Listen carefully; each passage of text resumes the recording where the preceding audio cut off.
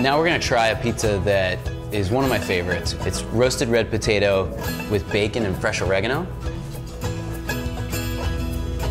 I got some nice spice off the crushed red pepper. Towards too. the end, yeah, it mm-hmm. kind of sneaks up on you.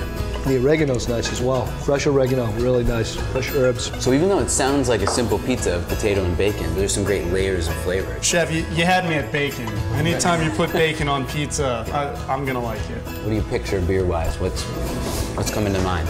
Boston Ale, a very traditional New England style ale. It's a stock ale and it complements everything on this. The red pepper flakes, they, they, they really linger, and this beer kind of cuts through that um, quite nicely. This pizza really brought out some of that fruity estery ale notes, which I love about this beer. Right. I wasn't getting that before, and then as soon as you said it, it's more evident. I love the Boston Ale. It's the second beer that Jim ever made. And it's a traditional stock ale, but you'll get some bright citrusy notes, and I think that's what's really nice about it pairing with the pizza. I feel like it's a hidden gem, a little lesser known. The roasted potatoes, smoked bacon, fresh oregano with the Boston Ale, excellent pairing for this fall.